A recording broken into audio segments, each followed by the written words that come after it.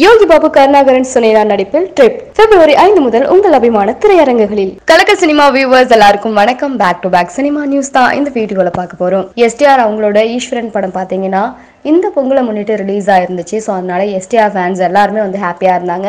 இந்த பொங்கல் வந்து நமக்குலாம் வேற லெவலில் இருக்குது அப்படின்னு சொல்லிட்டு.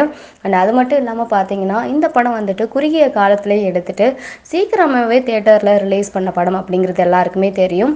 ஸோ அது மட்டும் இல்லாமல் இந்த படத்தை தொடர்ந்து அடுத்ததாக வந்துட்டு எஸ்டிஆர் ஃபேன்ஸ் எல்லாரும் எதிர்பார்த்துட்டு இருக்க படம் அப்படின்னு சொன்னால் மாநாடு படம் தான். ஸோ அந்த மாநாடு படத்தை பற்றி வந்துட்டு எஸ்டிஆர் அவர்கள் சில வார்த்தைகள் சொல்லியிருக்காங்க. ஸோ அது என்ன அப்படின்னு பார்த்தோம்னா எனக்கு கடவுள் நம்பிக்கை அதிகம். சிவனை ரொம்ப பிடிக்கும் அப்படிங்கிறது அனைவருக்குமே தெரியும். ஆனால் மதத்தின் மீது பெரிதாக நம்பிக்கை இல்லை. இந்த கடவுள் அந்த கடவுள் என்றில்லாமல் அனைத்தையும் ஒன்றாக பார்க்குறேன். இந்த சமூகத்தில் பொதுவாகவே இஸ்லாமியர்கள் மீது ஒரு பார்வை இருக்குது அதை மாற்றுறதுக்காகவே ஏதாவது ஒன்று பண்ணணும் அப்படின்னு நினச்சிட்டே இருந்தேன். இந்த படத்தில் அந்த விஷயத்தை பேசுகிறதுக்கு கதை சரியாக அமைஞ்சிருந்தது அப்படிங்கிற மாதிரி சொல்லியிருக்காங்க. அண்ட் அது மட்டும் இல்லாமல் அதுக்காகவே இந்த படத்தை நான் ஒத்துக்கிட்டேன். வழக்கமான ஒரு கதையாக இல்லாமல் வித்தியாசமாக இருக்கும். எந்த மொழியில் நல்லதொரு படம் வெளியானாலுமே இந்தியாவில் கொண்டாடுவாங்க. அப்படி ஒரு படமாக தான் மாநாடு இருக்கும் அப்படிங்கிற மாதிரி எஸ்டிஆர் அவர்கள் தெரிவிச்சிருக்காங்க. ஸோ அது மட்டும் இல்லாமல் நேத்தி அவரோட பிறந்தநாள் அப்படிங்கிறதால மாநாடு படத்தோட டீசர் ரிலீஸ் பண்ணியிருந்தாங்க. எல்லாருக்குமே தெரியும். இந்த டீசருக்கு பார்த்தீங்கன்னா நல்ல ஒரு ரெஸ்பான்ஸ் வந்துட்டு மக்கள் மத்தியில் கிரியேட் ஆயிருந்துச்சு. ஸோ இதை பார்த்து நிறைய பேர் டெனட் மூவி மாதிரி இருக்கே அப்படிங்கிற மாதிரி சொல்லியிருந்தாங்க. படத்தை பார்க்கும்போது தான் நமக்கு தெரிய வரும் இது என்ன மாதிரியான படம் அப்படின்ட்டு. பட் வந்து டீசரை பார்த்துட்டு எல்லாரும் இப்படி தான் இருக்குது அப்படின்னு சொல்லிட்டு இருக்காங்க.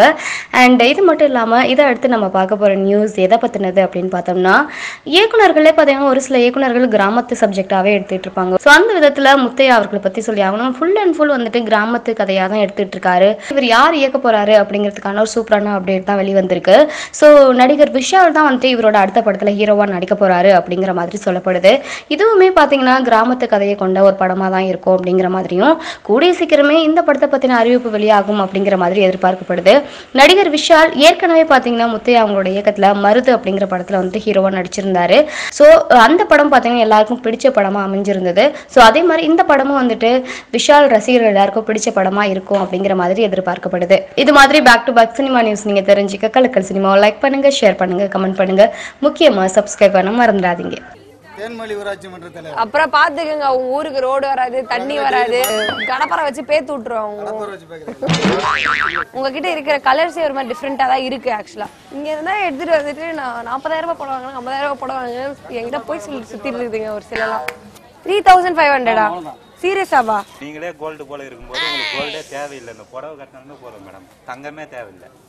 பாருங்க எவ்வளவு அழகா இருக்கு பாருங்க. இதெல்லாம் பார்க்கும்போது வயிறெல்லாம் எரியுது ஆனா எனக்கு இந்த பக்கம் பார்த்தாலே கோவம் தானா வருது. Love love love love love love லவ்வா இருக்கு. ஐயோ இது நல்லா இருக்கு.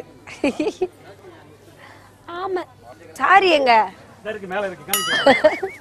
ஐயோ இந்த புடவை கட்டுறது தான் கஷ்டம் ஆனா இது எனக்கு பிடிச்சிருக்கு.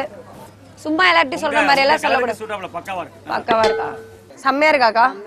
சரோஜா தேவி யூஸ் பண்ண சோப்பு டப்பா ஏதாவது இருக்கா? சந்திரமுகி மாதிரி இப்ப பண்ணிட்டு ட்ரெஸ்ஸுக்கு அது ஒரு மாதிரி தான் இருக்கு. ஆனா நல்லா இருக்குல்ல? சீரியல்ல எல்லாம் நாங்க இதை போட்டு தான் கல்யாணம் ஆன மாதிரி ஏமாத்துவோம். நல்லா இருக்குல்ல? இது ரொம்ப அழகா இருக்கு. என் கல்யாணத்துக்காக இது கொடுக்குறீங்களா? கிஃப்டா கொடுக்குறீங்களா? வாட் டு யூ மீன் கல்யாணம் ஆகல. எனக்கு வெறும் இருபத்தி மூணு வயசு தான் ஆகுது. என்னோட ஜாதகம் உங்களுக்கு நான் அனுப்பி விடுறேன். ஒரு நல்ல பையனா பத் வேணாங்க இல்ல. நல்ல பையனா நல்ல பையனா தேடி எனக்கு கண்டுபிடிச்சு கொடுங்கன்னு சொல்றேன். கண்டிப்பா. நீங்க ஏதோ வேணாங்கன்னு எதுக்கு இப்ப சொன்னீங்க? இல்லைங்க. வேணாங்க. ஆல்ரெடி எனக்கு கல்யாணம் ஆயிடுச்சுங்க அப்படின்ற மாதிரி சொல்றீங்க. அவ்வளவுதான்.